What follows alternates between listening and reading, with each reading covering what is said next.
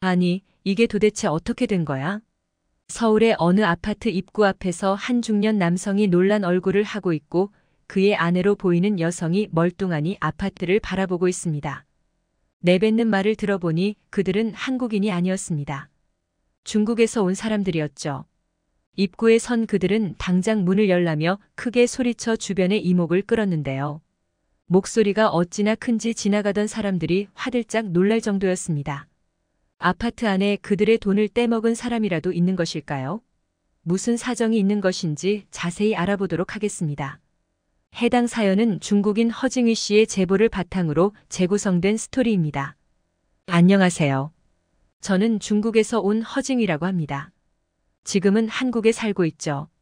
이 경위에 대해 설명도 하고 제가 그동안 얼마나 식견이 좁았는지 뉘우치며 한국에 사죄하는 심정으로 글을 써보고자 합니다. 한국의 많은 여러분이 중국을 몹시 싫어한다는 것을 알고 있습니다. 한국에 대해 잘 몰랐을 때는 소국의 소인배들만 산다고 생각했었죠. 오만하게도 말입니다.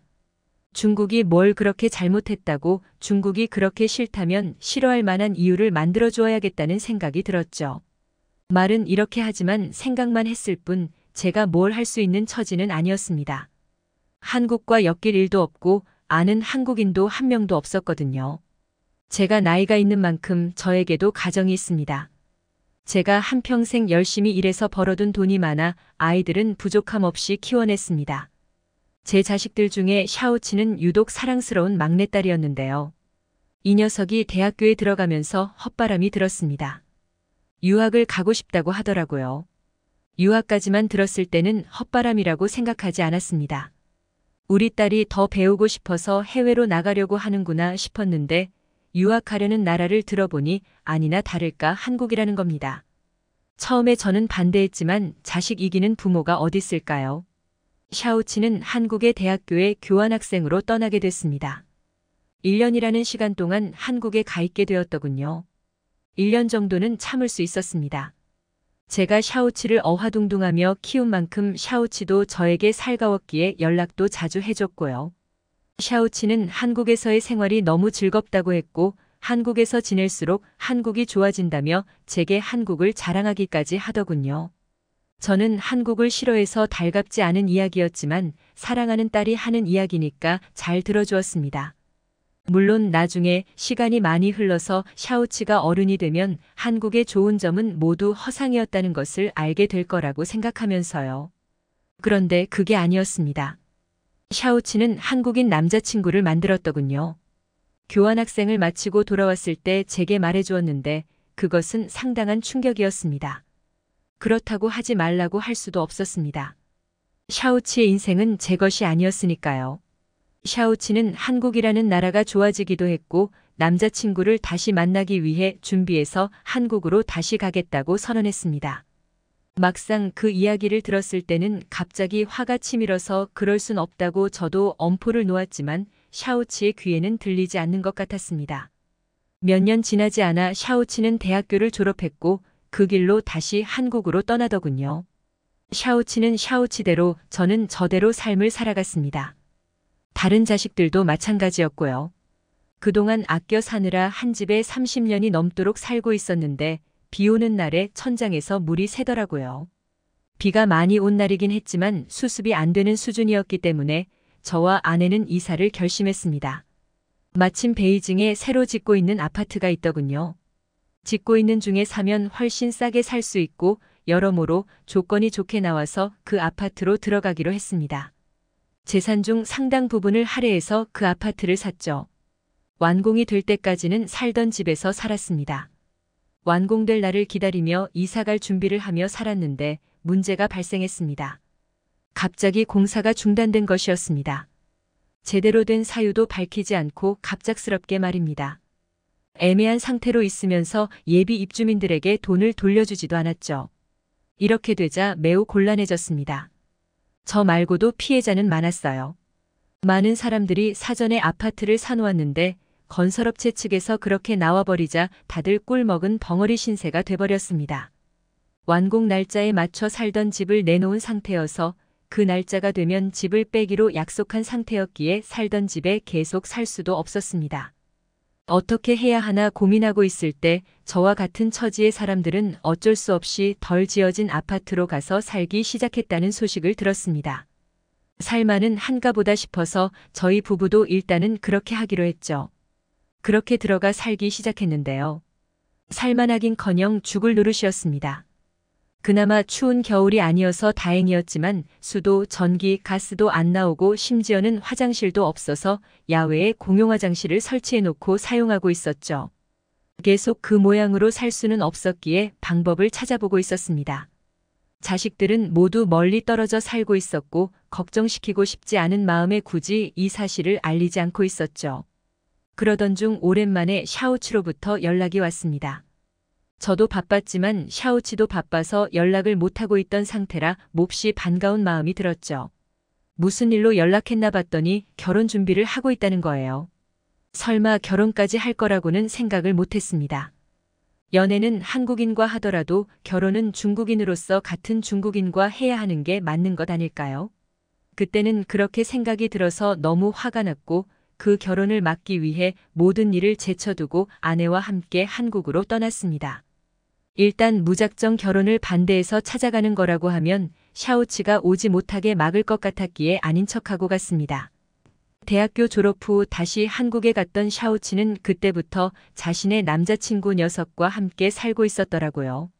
제가 샤오치에게 받은 주소도 둘이 같이 사는 집이었습니다. 원래는 샤오치가 공항에 데리러 오겠다고 했는데 제가 됐다고 극구 사양해서 주소를 받았던 것입니다.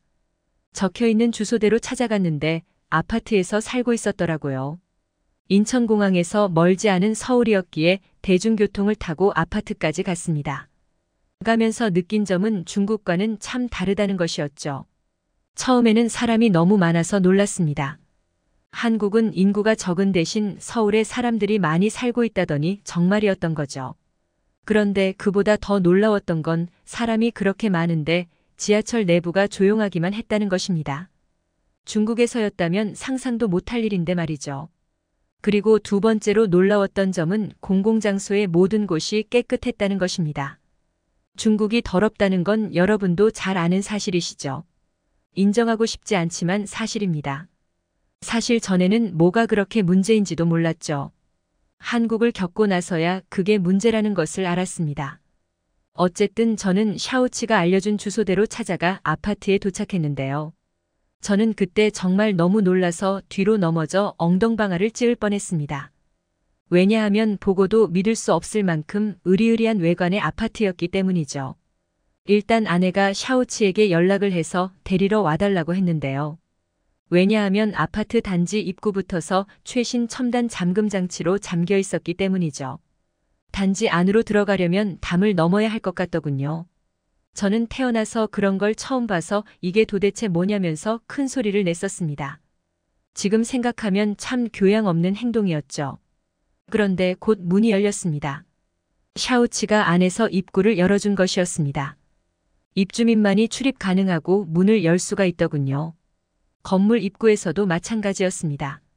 건물 안으로 들어가 엘리베이터를 타고 올라갔습니다. 곧 샤오치가 저희를 맞이해 주었고 집안에는 샤오치의 남자친구인 윤기도 있었어요. 저와 아내는 그때 저희의 예비 사위를 처음 봤습니다. 한국인이라서 결사 반대할 거라고 생각하고 왔지만 막상 그 얼굴을 보니 노여움이 사르르 풀리는 것만 같았죠.